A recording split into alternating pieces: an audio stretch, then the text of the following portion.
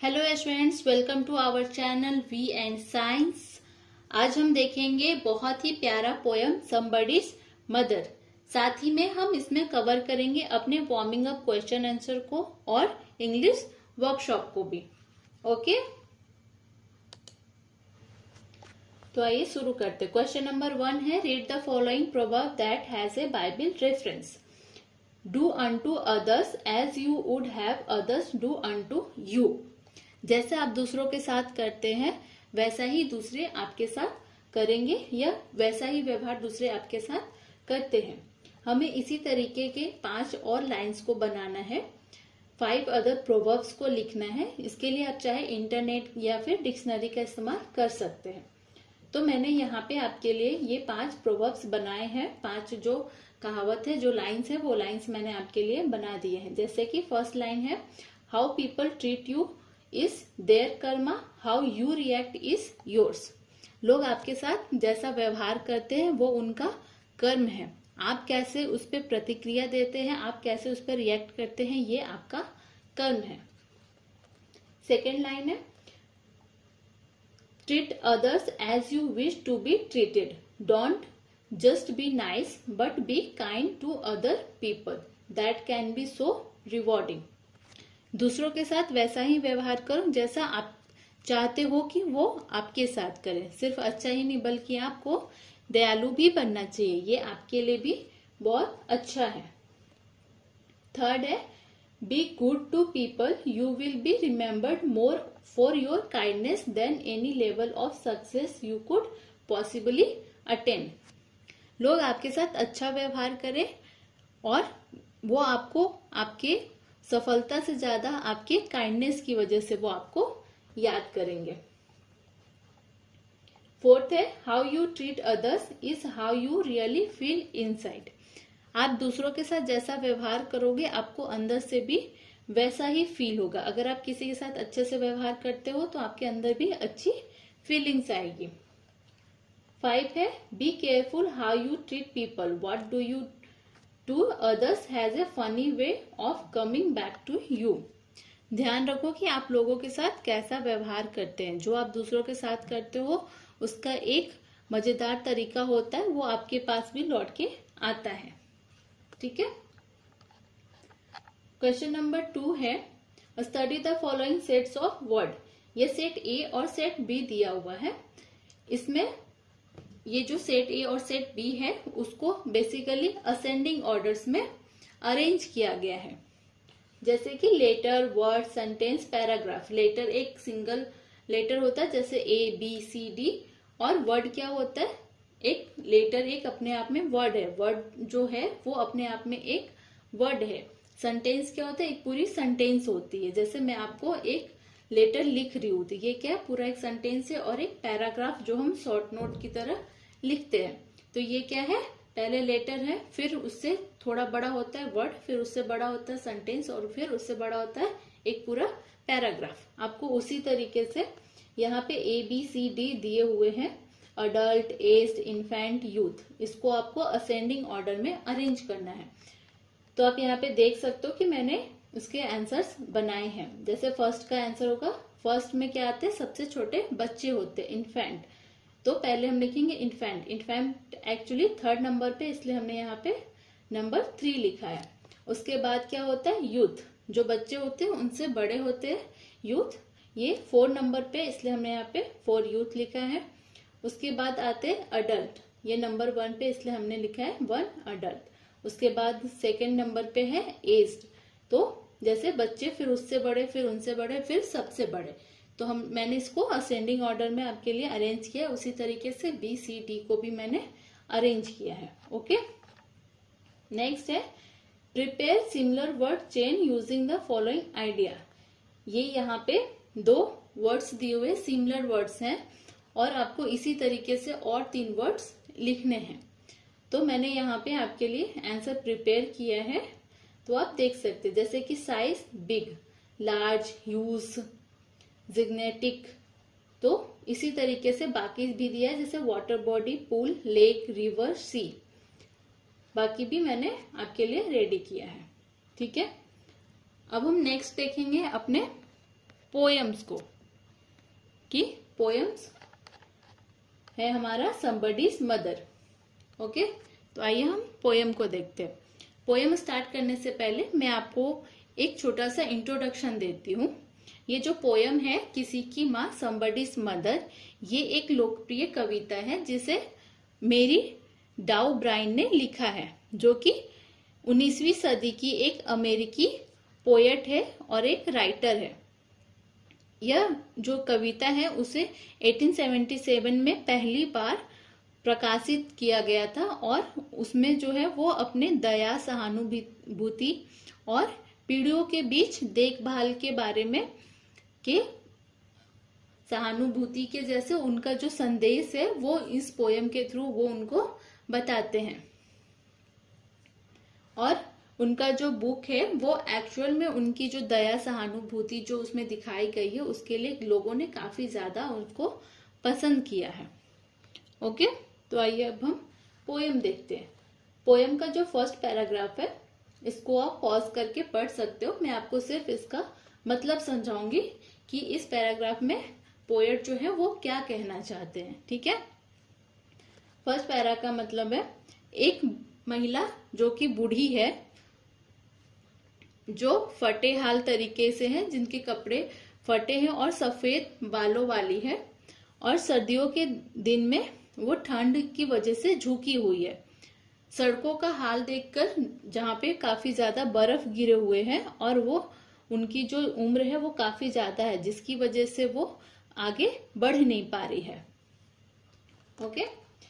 Second paragraph का मतलब है भीड़ भाड़ वाले चौराहे पर वह लंबे समय तक इंतज़ार कर रही थी। लापरवाह भीड़ के धक्कों से इधर उधर हो जाती है, जिससे कि लोग उसको अनदेखा करके वहाँ से, बस उसके बगल से क्रॉस कर रहे थे, उसके बगल से चले जा रहे थे। थर्ड पैराग्राफ है। सड़कों के नीचे से हँसी खुशी और चिल्लाते हुए स्कूल की छुट्टी हो गई थी और स्कूल के बच्चे जो है वो हँसी खुशी चिल्लाते हुए वहाँ से बहुत ही आराम से वो सड़क सड़क जो है उसको क्रॉस करते हुए एक झुंड में जा रहे थे। वे गहरी और सफ़ेद बर्फ़ का स्वागत करते हुए महिला के पास से गुजर रहे थे। उनको बहुत अच्छा लग रहा था कि सड़क पे जो है वो बर्फ़ गिरी हुई है, उससे वो काफ़ी ज़्यादा खुश हैं। महिला जो इतनी बूढ़ी और सफ़ेद बालों वाली थी, बच्चों ने उसकी तरफ़ ध्यान नहीं दिया और वो अपनी धुन में ही चले जा रहे थे। किसी ने भी उससे, उसको मदद के लिए हाथ नहीं बढ़ाया और वो इतनी कमज़ोर और डरपोक थी कि वो अपने जगह से हिलने से भी वो डर रही थी कि कहीं ऐसा ना हो कि कोई भी गाड़ी या कोई भी घोड़ा, जो गाड़ी घोड़े जो होते जो चलते हैं, वो आके उसको कुचल ना दे। और फिर वहाँ पे एक लड़का आया और उसने उससे, उसके पास रुका और उसने उससे पूछा कि, क्या आप जाना चाहती हैं तो मैं आपकी मदद कर देता हूँ। ठीक है?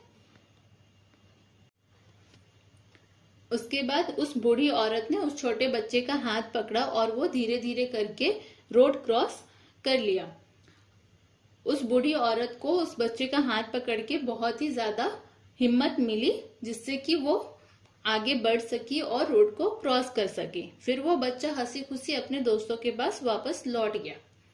उसके दूसरे दोस्त ने पूछा कि, क्या तुम जानते हो कि वो कौन है? तो उस बच्चे ने जवाब दिया कि, वो भी तो किसी की माँ है। भले ही वो बूढ़ी है, गरीब है और धीरे धीरे चलती है। मान लो कभी भी कोई कोई ऐसा होगा जो कभी मेरी माँ की भी मदद करेगा। अगर वो कभी बुढ़ी हो गई, गरीब और सफ़ेद बालों वाले की तरह हो जाए तो और उसका अपना प्यारा बेटा उससे दूर हो। किसी की माँ ने उस रात अपने सिर को झुका लिया, अपने घर में और जो प्रार्थना उसने की थी और जो प्रार्थना उसने की थी, भगवान ने उस नेक लड़के के रूप में, उस दयालु लड़के के रूप में उनके पास भेज दिया, जो किसी का बेटा है। और उसके बेटे होने पर उसे काफ़ी खुशी है और उसे गर्व भी है। ओके? तो स्टूडेंट्स ये जो पोयम है, मेरी डाउ ब्राइन ने जो ये पोयम लिखा है किसी की माँ, वो एक बहुत ही भावुक कहानी है, जो दया, सहानुभूति और मानवता। तो स्टूडेंट्स ये जो पोयम है किसी की माँ, वो एक भावुक कहानी है, जो दया, सहानुभूति और किसी की मानवता के साझा संबंध को बताती है। इस कविता में एक बूढ़ी औरत का वर्णन है, जो बर्फ़ से ढकी सड़क को पार करने के लिए संघर्ष कर रही है। लेकिन उसे अनदेखा करते हुए कई लोग उसके पास से गुजर जाते हैं। वो बहुत ही ज़्यादा कमज़ोर और डरी हुई होती है, क्योंकि सड़क पर फिसलकर गिर सकती है या किसी गाड़ी से उसे चोट लग सकती है। उसी बीच कुछ बच्चे स्कूल से लौटते हुए मस्ती में झूम रहे होते हैं। उनमें से एक बच्चा जो सबसे चंचल होता है, वो उनके पास आता है और उनसे पूछता है कि क्या मैं आपको रोड क्रॉस करा दूँ? वह लड़का बड़े सम्मान और देखभाल के साथ वो उस बूढ़ी औरत को रोड क्रॉस करा देता है। उसके बाद वो अपने दोस्तों के पास लौट जाता है।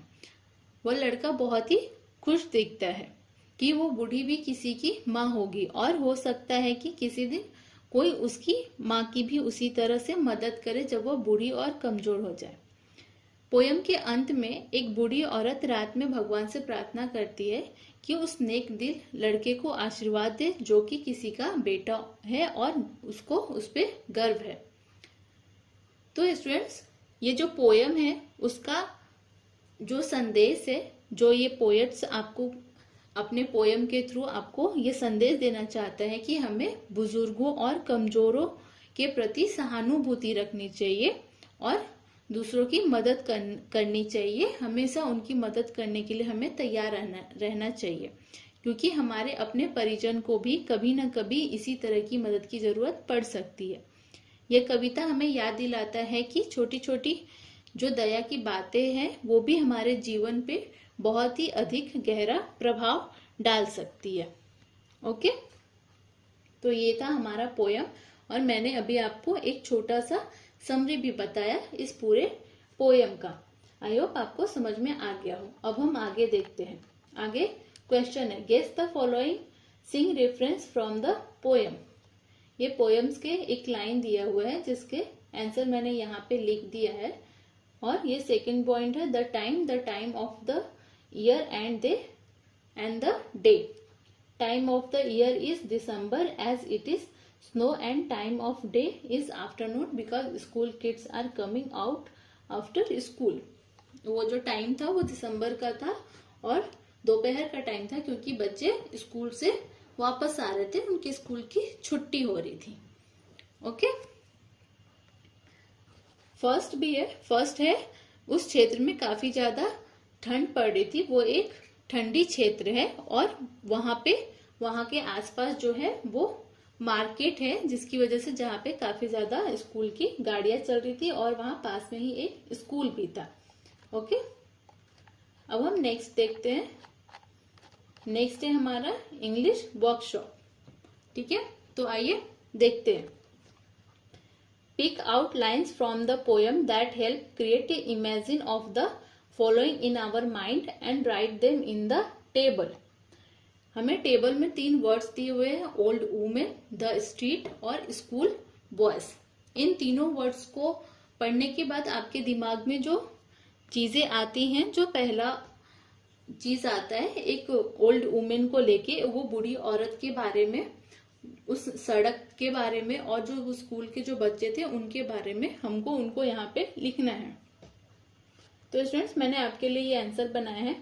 जैसे कि फ़र्स्ट है बूढ़ी औरत फटे हाल थी और जो स्ट्रीट है वो व्हाइट स्नो से भरा हुआ था, बर्फ़ से भरा हुआ था।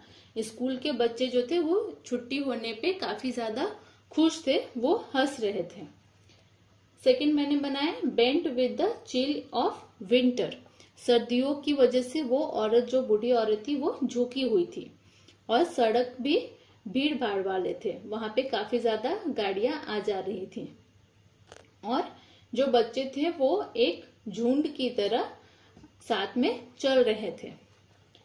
तीसरा है, हर फीट वर ट्रम्बलिंग। उसके जो पैर थे वो काप रहे थे। नेक्स्ट है, जो गाड़ियाँ हैं, वो उन्हें कूद सकती थी। वो काफ़ी ज़्यादा तेज़ी से चल रही थी। और जो थर्ड है स्कूल बॉयज़ के लिए वो है कि बच्चे जो है, वो अपने ही धुन में तेज़ी से आगे बढ़ रहे थे।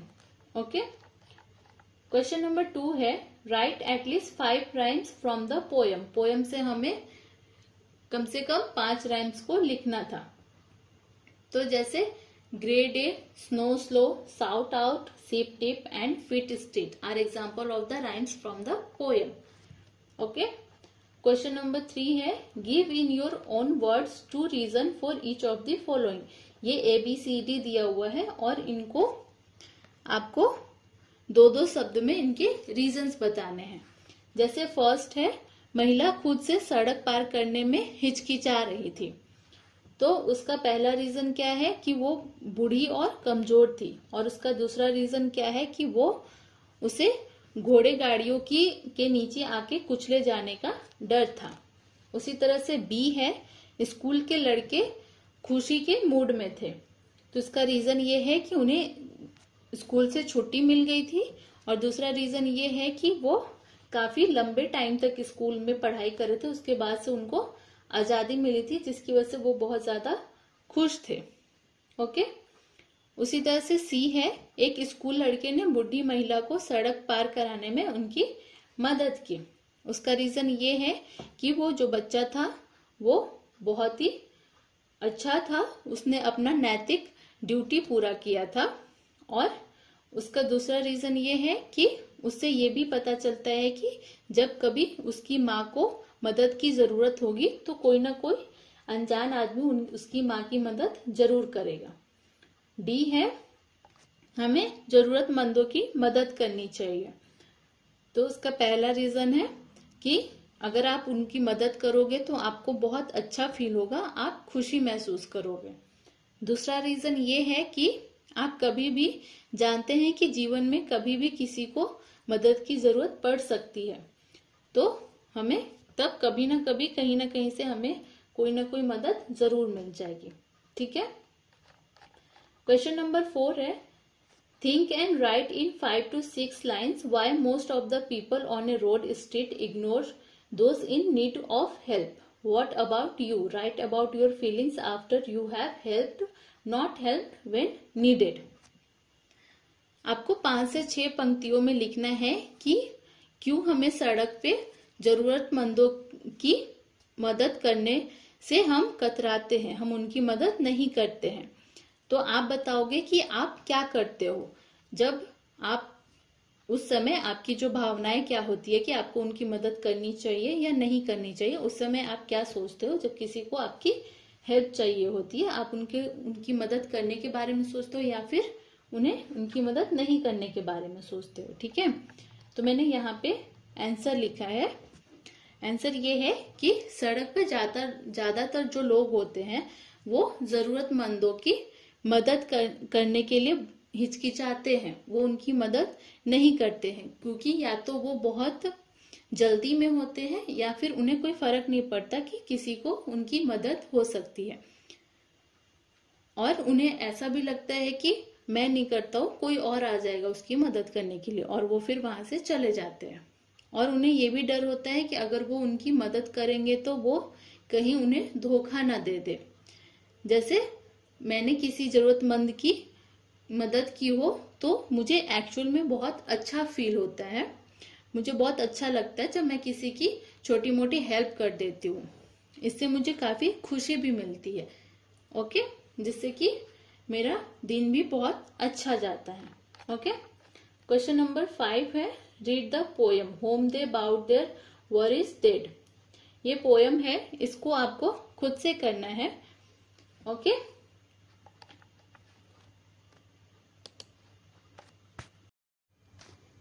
तो स्टूडेंट्स हमने इस चैप्टर में कंप्लीट किया वार्मिंग अप क्वेश्चन आंसर को समबडीज मदर पोएम्स को और इंग्लिश वर्कशॉप के कंप्लीट क्वेश्चन आंसर को। अब हम अपने नेक्स्ट वीडियो में देखेंगे द फॉल ऑफ़ ट्रॉय का चैप्टर ओके स्टूडेंट्स अगर आप हमारे चैनल पे नए हैं तो हमारे चैनल को सब्सक्राइब ज़रूर करें। अगर आपको हमारी ये वीडियो अच्छे से समझ में आ गया है तो इसे लाइक करें और अपने दोस्तों के साथ शेयर करें। कमेंट करके आप अपने व्यूज़ ज़रूर बताएँ, साथ ही आप अपने सवाल भी पूछ सकते हैं। अब हम मिलते हैं अपने नेक्स्ट वीडियो में। तब तक के लिए टेक केयर बाय